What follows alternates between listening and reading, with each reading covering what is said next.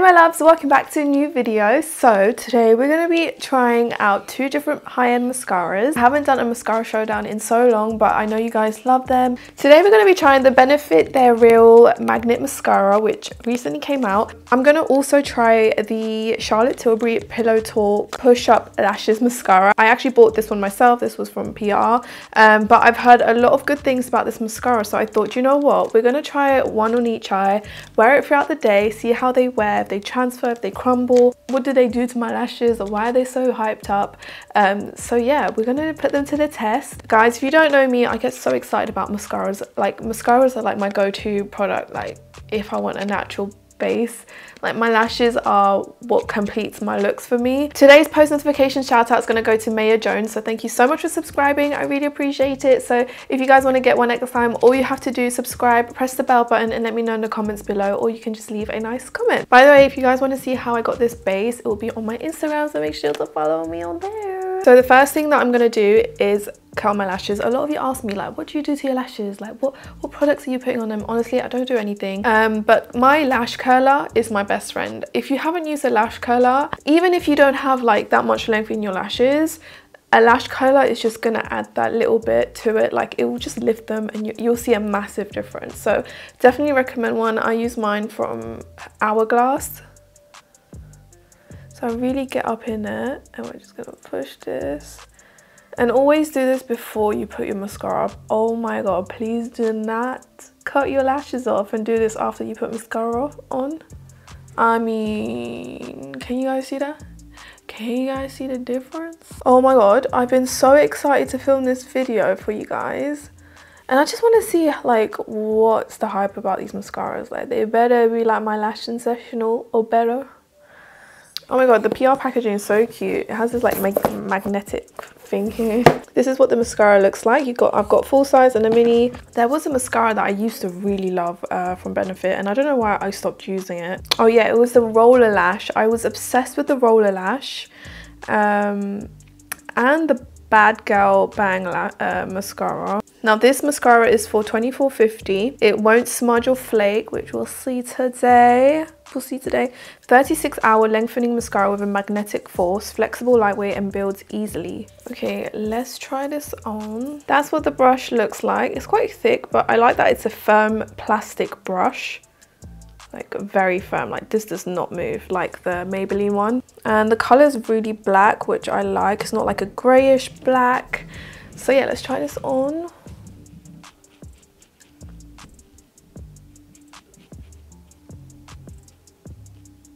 Usually when it comes to mascara, I like to put like two layers, I would say. But I always put mascara on my lower lashes. That's just a must. Otherwise, I just feel so naked.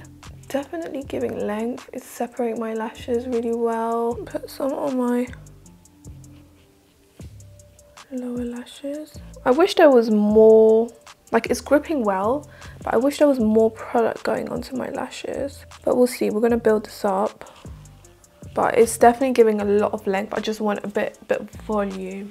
I get oh my god guys honestly i'm so picky about mascaras. Um, but this is like can you see what mascara does? Like just like you know what i'm just gonna give that a couple of seconds and i'm gonna do another coat.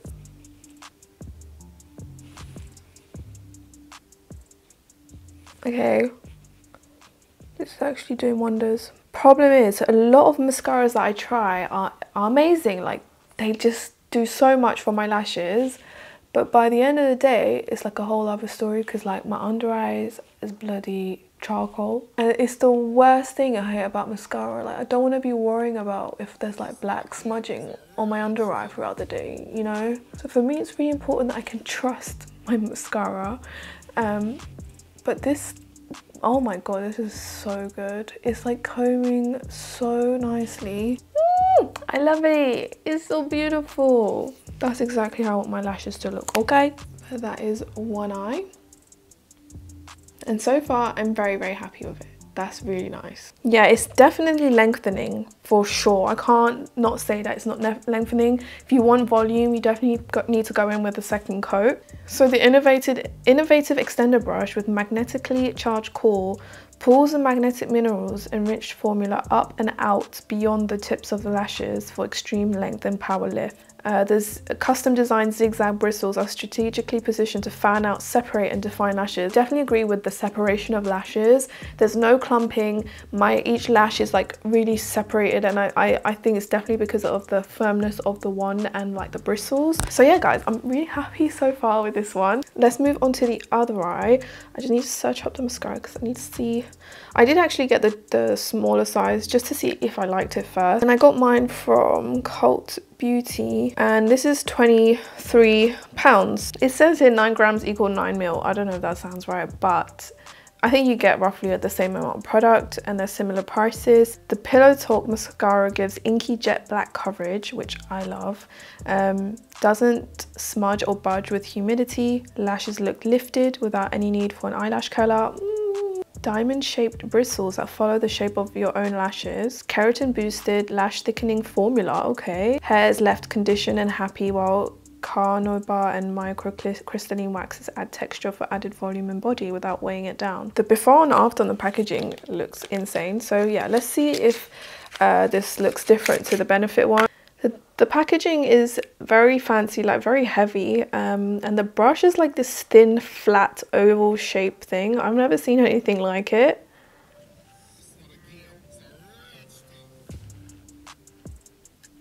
Oh, I don't know. I don't know. This one's really nice as well. I really stopped tugging at my lashes because I can definitely see some bold spots.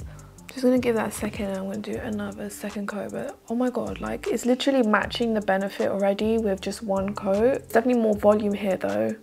So I'm gonna do second coat, but like so far I'm really happy with it. So they both they both seem good so far. I don't know.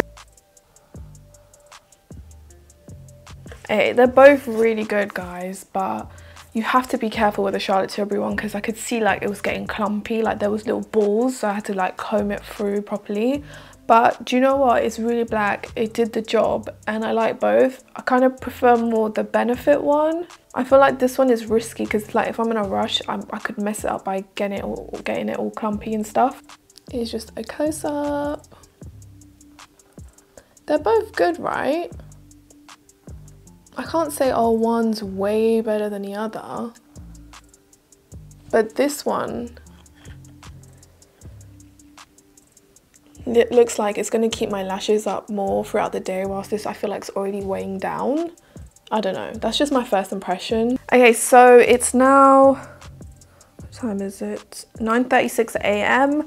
I'm going to wear this for the rest of the day and I'll be back later on and we're going to see how this looks.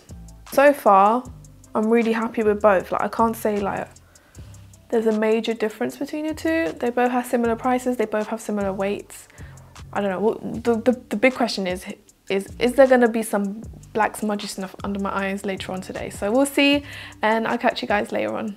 All right, guys, it's now 6.21 p.m. And honestly, these two mascaras are holding up pretty well. And the rest of my makeup actually Oh my god. Okay, I just come a little closer for you guys, but both mascaras held up really well. There's slight crumbling on the Charlotte Tilbury Pillow Talk mascara side, but this side held up pretty well. No black smudging whatsoever. Whatsoever. Um, my sister prefers the Charlotte Tilbury side. My husband, I think he prefers this side because he said like they're more separated like you can see more strands of mascara whilst this look more this one looks more like like there's not as many strands but it looks like more a falsy effect but honestly I feel like I would use both of them still I'm really happy with both I, I do have more of a preference for the benefit one it just looks really voluminous really lengthy and very separated and yeah I really like it but both mascaras are good both are, mascaras I would use. I would, I probably would purchase the Benefit one. I don't know about the Charlotte Tilbury one because it hasn't really like wowed me. Like even just looking right now, I feel like I can see more lashes on this side rather than this side. I don't know. Let me know what you guys think, but they're both good. I think I would rate this like a 9 out of 10.